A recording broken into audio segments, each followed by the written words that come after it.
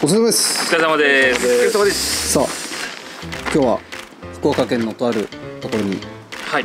伐採伐採に来ておりますがもう午前中終わりました。はい、はい。順調に進んでおります。えーあの伐採をご依頼いただいたお客様である壁チャンネルの壁ちゃん。壁ちゃんです。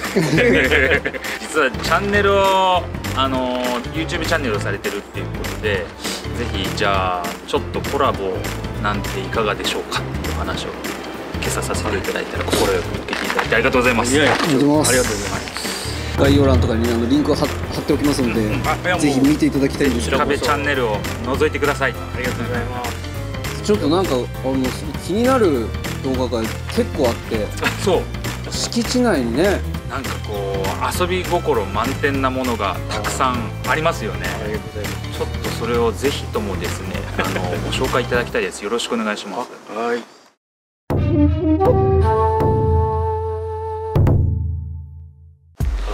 さあ何からいきましょうか？今一生懸命頑張ってるのは、はいあのグリーン伐採。はあスクリーンはどういう風な姿を目指してるんですか。そうですね。なんか行き当たりばっかりでやってるから、あでもなんかこまだ先が見えないけど、う深くかなんか間引きする感じでやってらっしゃるんですね。結構ここの間だけがいい感じで、間だけってなんかこの節が40センチ以上あるのがいいらしくて。あそうなんはい、これはもう短いんですけど昔は竹の定規なんかを作るのに業者さんが買いに来てたあーあ、あそうか長くないと。いけないですもんねそうで。すねでなんか YouTube の動画で竹細工をしてる人が年に1回2回、はいあの11月と12月の新月の日その日が水が一番少なくていいらしいんですけどそれで取りにあの竹を切りに行ってるでそれを4 0センチ以上のじゃないと取らないって言ってましたね新月伐採ですね。木も新月に切るっていうよ言いますよね。あ竹もそうなんですね。まあ俺たち年中切ってるけど。この落ちてるのはチップチップを巻い巻いてるんですかこあいやあのれ巻いてるわけではない粉砕したのをそのまま置い下にこれ出るタイプなんですよね。ああの粉砕機が、チッパーが。はいはいはい。はい。上からブロワーで飛ばすやつもあるけど、でやっぱりこうしてた方がタケノコにいいらしくて、あそうなんだ。はい。やっぱそうなんですね。水分も保水力が上がって、なんか殺菌効果とかもあるんですよね竹って。そう。なんかそうですね。た竹炭が結構。あああ炭にすると。炭も作ったりあそこの下の焼却炉。はいはああれで炭い。作ってんですか？消し炭を、へああそれ動画もああるんで。ぜひ。それまだ見てなかったです。竹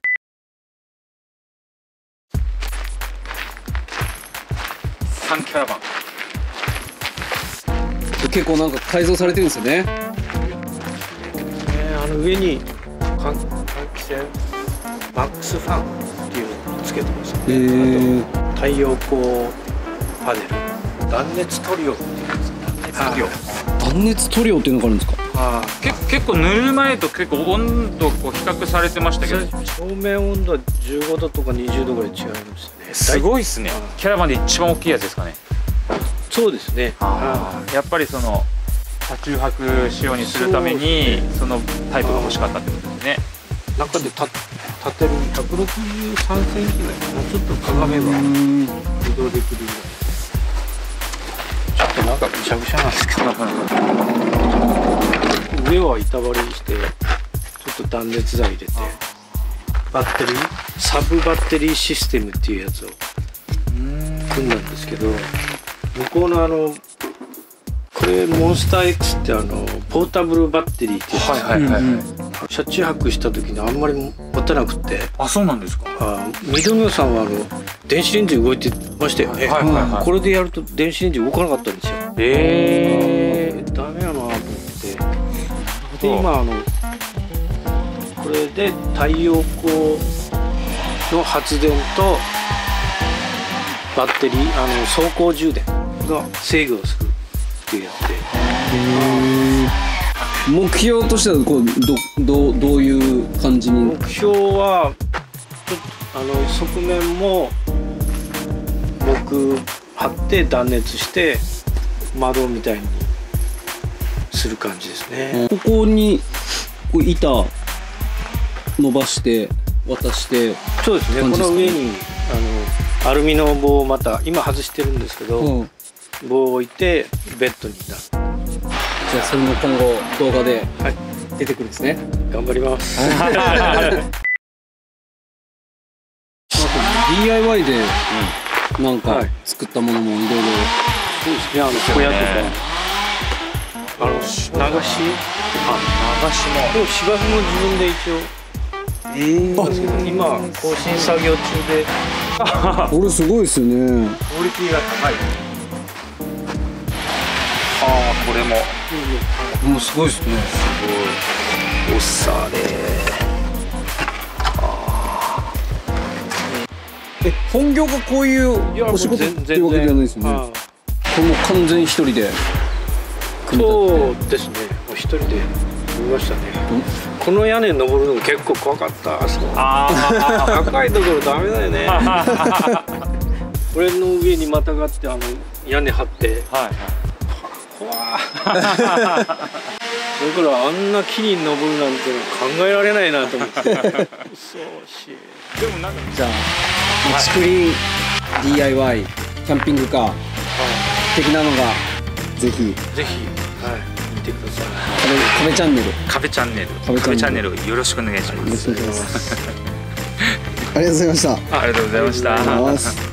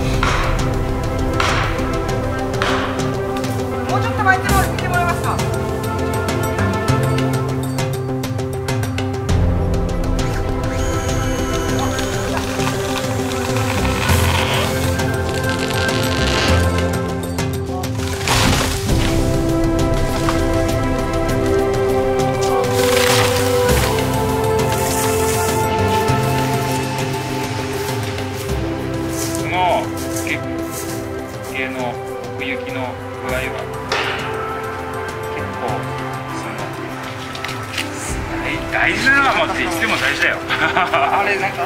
その深さがどれぐらいでどれぐらいの倒れやすさとかそういうのをいろいろもうちょっと練習したらまあまあ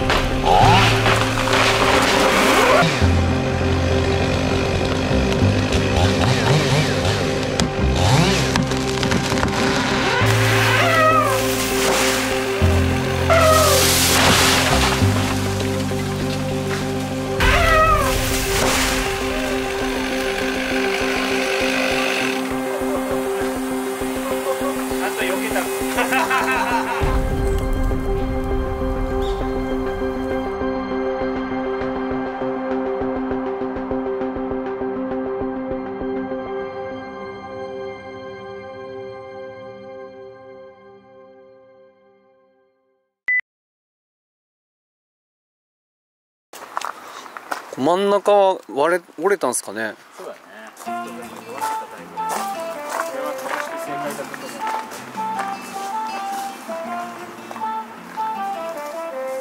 真っ二つですもんね。上まで鎖が入ってたあ結構上まで入ってました？あとは狙い通り。まあ狙い通りに行かなくちゃいけないんだけどね。狙い通りに行くのが活かせることが仕事なんですけど。綺麗に、まあ、木も倒れたところでこう一つも殺すことなくそして避けなくちゃいけなかった巻き小屋と焼却炉も全くノーダメージ。脇も、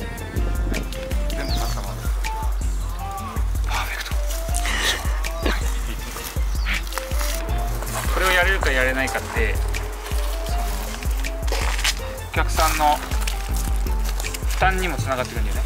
このバットをできるかできないか。バットするのやっぱ怖いんだよ。怖いですよ熱ねがなければやっぱああじゃあもう短く吊るしてこようとかってなるじゃん。そしたら短く吊るしてこようだったら今日終わってないから。そういう見積もりになるじゃん。2なるほど。日間の見積もりになるじゃん。でも今日俺はこれ1日の見積もりで今日来てる。それはこれを倒せるっていう前提で来てる。倒せなければ見積もりはできないあその見極めは難しいよ。闇雲にねこうか賭けに出ちゃいけないけど。でもその自信持って倒せるっていうところまで技術を高めとけばそういう見積もりができるということでね。向こう側でなんかこう師匠とか先輩たち「何言ってんだよ」言ってるかもしれない。プロの技ですね。これが